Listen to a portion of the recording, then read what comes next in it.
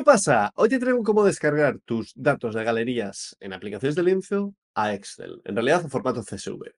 Te lo traigo porque muchas veces los usuarios finales piden el poder descargar los datos que están viendo en la aplicación a formato Excel para poder hacer sus cálculos, su cocina con Excel, ya sabes, para que puedan trabajar en el formato al que están acostumbrados, con el que se sienten cómodos.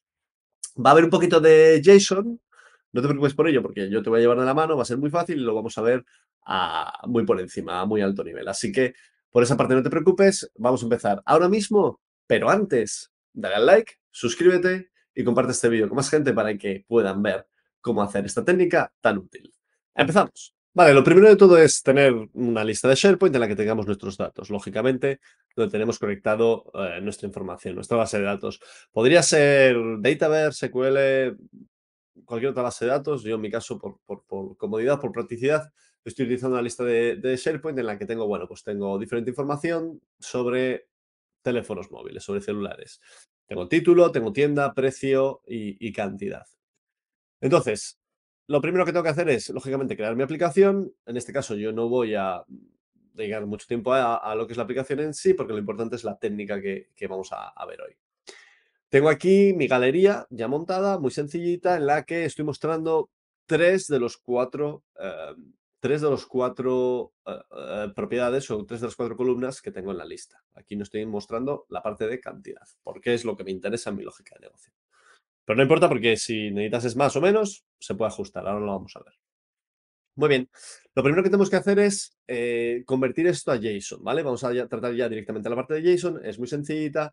Al final se trata de representar un esquema de datos mediante una, una, cadena de texto. Así que voy a poner aquí una etiqueta de texto, que ahora la vamos a utilizar. Y aquí voy a poner un botón. Vamos a poner aquí un botón. Y lo que voy a hacer es, con este botón, voy a generar una variable en la que se, eh, mediante la función JSON se genere esta, esta cadena de texto que represente el array. Así que voy a coger el botón y voy a decir, declárame una variable que se llame var em, JSON creado, vamos a poner, que consista en la función JSON que contenga o que se base o que, que su origen sea la galería en concreto y todos sus ítems. Punto y coma. Y luego el formato del JSON tiene que ser indent for. Cierras. Y cierras. Aquí me da un error porque al conectarme a mi lista de SharePoint, la lista de SharePoint tiene capacidades eh, de tipo em, multimedia entonces no puedo utilizarlas, ¿vale? Si estás habituado a trabajar con colecciones y a poder eh, manipular eh, las, los orígenes de datos que se trabajan en una aplicación de, de Canvas, de aplicación de lienzo, aquí ya te estarás imaginando que lo que tenemos que utilizar es show columns para quedarnos solo con algunas de las columnas que vienen en gallery1.allItems, en nuestra galería. Y las que quiero son, si vengo al origen de datos, quiero la de título, quiero la de tienda y quiero la de precio. Voy a aprovechar para comentarte una cosa que si tienes experiencia en trabajar con, SharePoint como base de datos en, aplicaciones de Canvas, que es que si yo vengo aquí a eh, editar esta columna, perdón, tengo que ir a... Eh, mejor voy a, desde aquí, vengo a configuración de la lista y si vengo a precio, por ejemplo, aquí arriba en la URL Ahí está, me aparece cómo se llama la columna eh, realmente. Digo esto porque en la de título viene así en español, pero el nombre original es title. Así que lo voy a referenciar correctamente. Si algún día tienes problema de que no encuentras el nombre de tu columna de SharePoint, que sepas que van por aquí los tiros, que tienes que ver cuál es el nombre real. Entonces, lo primero que quiero registrar es el title. Lo segundo con lo que quiero contar es eh, a ver, perdón, eh, columns, ¿vale? Lo segundo que quiero registrar es el precio y lo último que quiero registrar es la tienda. Cerramos y ya me ha desaparecido el problema. Vale, entonces, si yo ahora doy el botón, se me va a generar la variable. Para ver cómo se me genera esa variable o cómo se me refleja, lo que voy a hacer es hacer la etiqueta aquí bien grande. Ahí está. Y voy a decir que aquí se represente esa variable, la variable var JSON creado. Entonces, si le doy aquí a ejecutar, ahí tengo mi estructura de datos o, mis datos en eh, JSON. Vale, perfecto. Esto era lo primero que tenemos que hacer. Ya ves que es muy fácil, no, no hay ningún problema. Vamos a coger todo esto, haciendo doble clic, y me lo copio en el portapapeles. Y ahora lo que vamos a hacer es vamos a crear el flujo que nos va a eh, generar después el archivo que se va a descargar. Vamos a venir a flujos, vamos a crear un nuevo flujo y vamos a darle a crear flujo. Lo primero de todo, como siempre, que muchas veces vamos ahí directos a hacer el flujo. Darle un nombre, ¿vale? Eh, yo, lo voy a, le voy a llamar descargar CSV, por ejemplo. Lo primero que tenemos es el trigger, que es el disparador de Power Apps versión 2, que es el que viene ya por defecto. Tenemos que darle una primera entrada, que va a ser de tipo texto. Y vamos a llamarlo eh, input eh, JSON, lo voy a llamar. Pero bueno, esto porque le puedes poner el nombre que quieras, ¿vale? Le damos a nuevo paso y aquí lo que tenemos que hacer es, eh, tenemos que hacer una función que se llama, no sé cómo se llama en español, si buscas JSON ya te, ya te filtrará más o menos el Power Automate. Y en inglés, bueno, se llama parse JSON, ¿vale?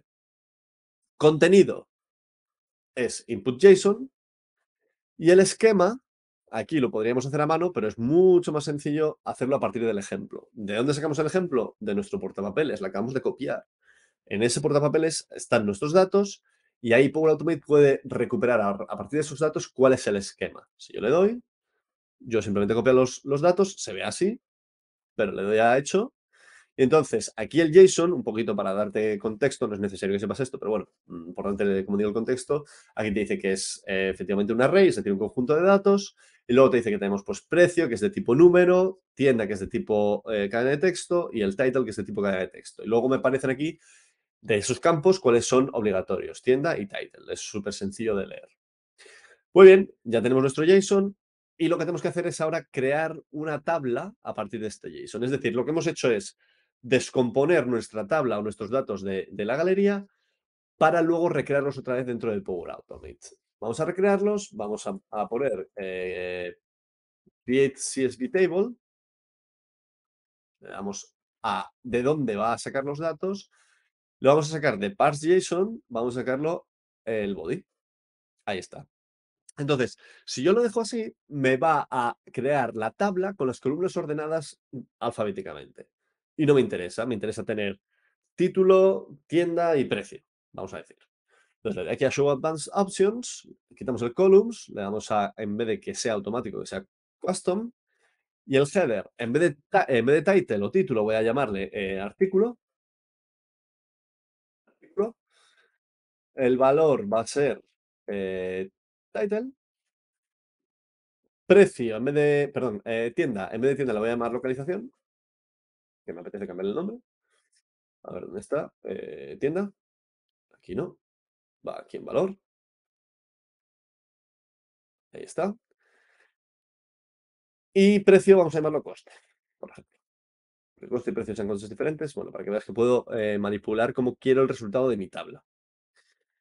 Y así está. ¿Vale? Ya hemos creado la, tabla CSV y ahora lo que tenemos que hacer es, mm, hasta ahora hemos estado utilizando nuestra lista de SharePoint y está muy bien, pero tenemos que utilizar también un repositorio donde crear este archivo. Es decir, tienes que tener localizado eh, un sitio en tu SharePoint que sea una, biblioteca, una library, donde guardar el archivo. Yo en mi caso voy a utilizar, eh, bueno, ahora vamos a ver, eh, voy a buscar SharePoint, el archivo, ahí está, perfecto. Pongo la dirección que me interesa, es esta de aquí. Pongo la ruta de la carpeta, que es esta de aquí.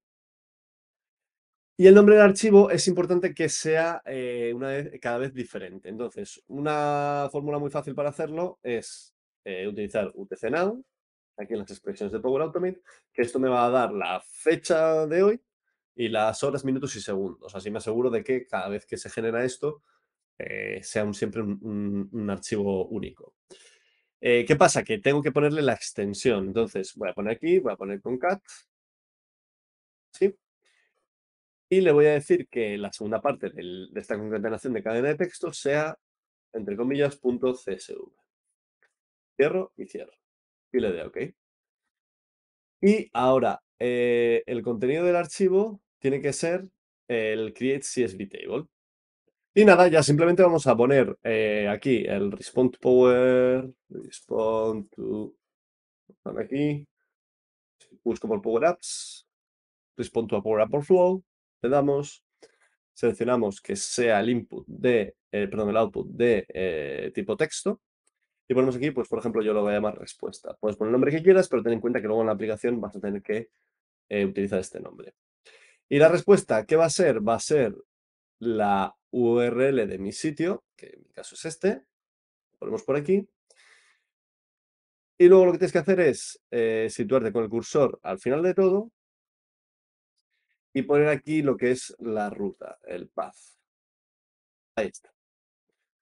Y le damos a guardar, ya hemos terminado el flujo.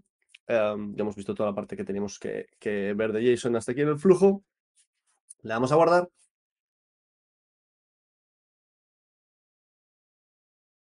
Y listo. Está cargando el flujo aquí a la izquierda y ya lo tenemos. Entonces, ahora lo que tiene que hacer el botón, me tiene que generar esto. Yo he puesto title precio tienda, pero el, orden de las columnas va a venir determinado por cómo lo he puesto en el mapa dentro del flujo, lo que hemos visto antes. Y ahora lo que tengo que hacer es eh, ejecutar el flujo. Para ejecutar el flujo, lo que necesito es guardar en mi variable esa respuesta que mando desde el flujo de Power Automate. Con las respuestas de, flujos de, Power Automate a Power Apps siempre funcionan así. Y luego ejecutar la función descargar lo que hay en esa variable. Es decir, punto y coma, punto y coma, si quiero utilizar el mismo botón.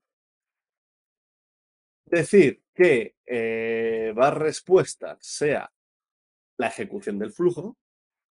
La ejecución del flujo, lo más fácil es poner run y luego buscar el nombre de mi flujo, punto run. La variable para ejecutar el flujo, es decir, la variable de entrada para mi flujo, si recuerdas, que es por lo que empezamos el disparador, era la primera variable que hemos creado, el var JSON creado. Y cierro paréntesis. Pero no quiero que la variable var respuesta sea simplemente la ejecución.